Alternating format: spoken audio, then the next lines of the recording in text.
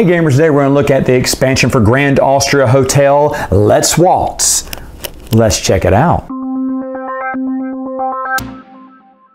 All right, a lot to talk about here, but I want to talk about this upgrade pack. Uh, the upgrade pack comes with a few things here. Of course, extra pieces with champagne bottles, which is what you'll be using now. This is an upgrade from the uh, cubes. You have wine bottles, cake, strudel, and black coffee bits there, which are really nice. It does come with these little things to track your money. Just put this on your next to your board there if you just want to track your money on it. I never play with that.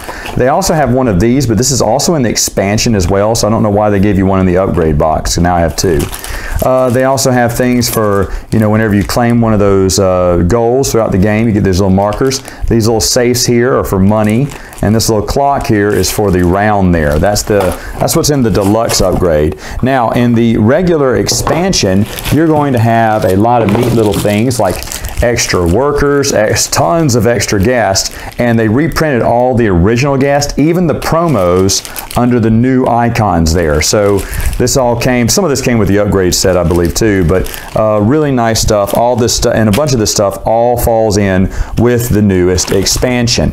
It also has, again, there's that tile again. You place this over the board if you're playing with the uh, ballroom edition because champagne is a new thing you can get. Of course, you may not have any greater cake than champagne so for instance, if there were three ones here, I could go one, one, and one. But I couldn't get more champagne than I could cake. Uh, it also has more of these little to Emperor's tokens here, rewards and favors, sometimes dealing with the expansions, just sometimes dealing with other ideas. And then it has a new way to play the game. Instead of the snake concept of going first and last, you can go round and round from one player to the next. Everyone gets even rounds. Uh, there also is a solo mode in this one that I have never played and probably never will. Now, lots of expansions to talk about here. Let me talk about the biggest one. It is the ballroom. Each player is going to get one of these four little things to put on the side It fits on the side of their board here. And you put all of your color ballroom dancers. These are stickers you have to put on there, but you put them all in these areas here. Once you completely clear, as you see, each one of these uh, tiles are different, but each time you clear one of the sections, you will get that reward.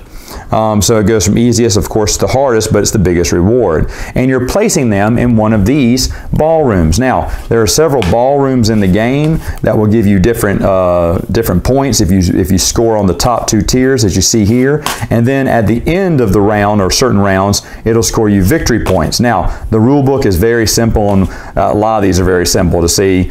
Um, seven times every two you have there. That's pretty nice. But the rule book is going to tell you exactly uh, what each ballroom room, how each one scores and how it works. But you're going to choose three of these and you're going to lay them out. Okay?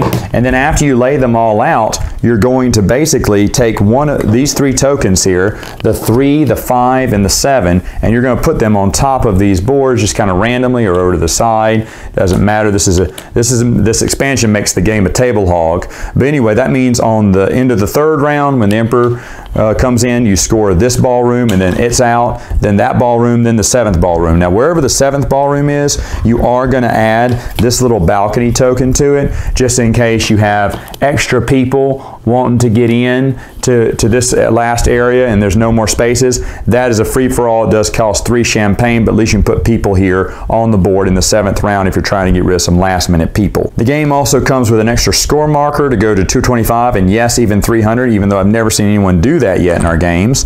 There's another expansion where you have these colored die here that represent one of these special guests that you can get into your area, and all are kind of famous people that give you a one turn. During that turn, you get this bonus. So for every time I get a champagne, I would get a victory point and a, a cube of my color or menu item of my color there. That's every time I get a champagne. It's just for one round only uh, once you claim it. How do you get these? Well, you're going to roll these three die and separate them with the other die on the board.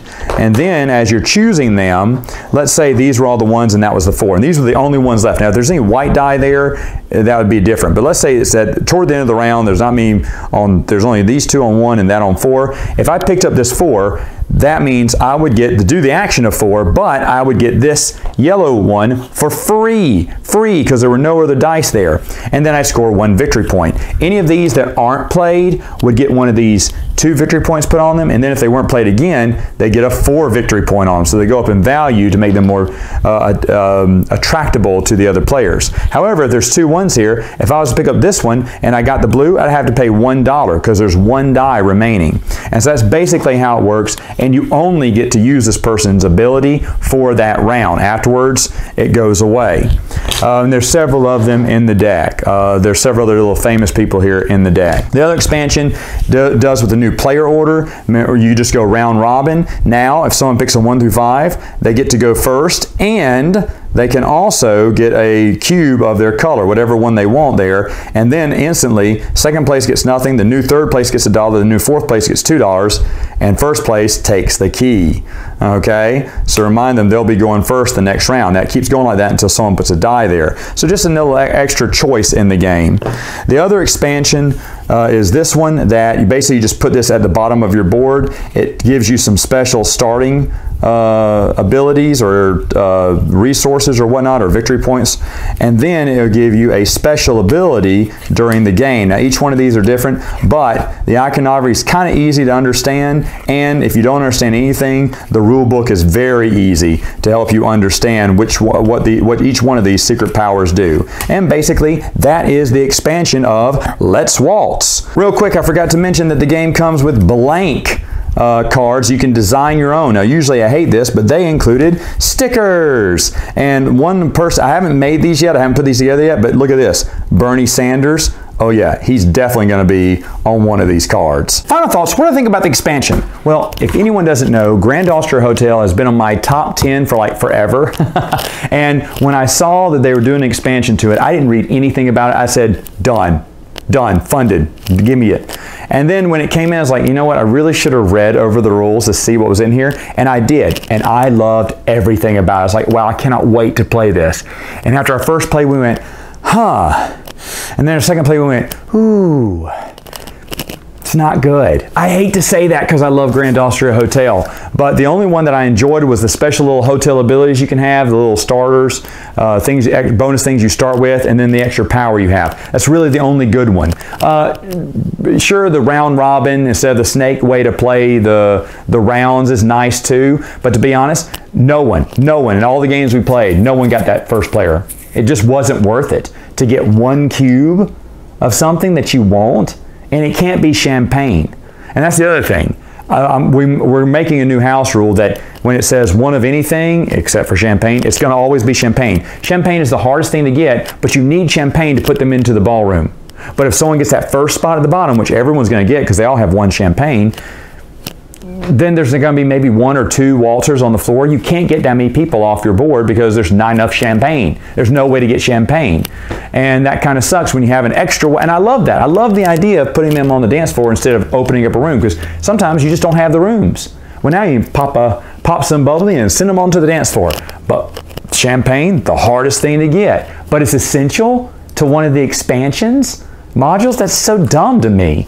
Um, the other one, and I, ha I hate that I'm hating on each one of these, but the other one, great idea. Have those special one-time guests. You know, you grab that die and you get them for that one turn, and you're really only going to use their power once, if not at all. And it got to be where no one cared about it. They thought it was cool, and then everyone realized those are those are useless powers. So then I said, okay.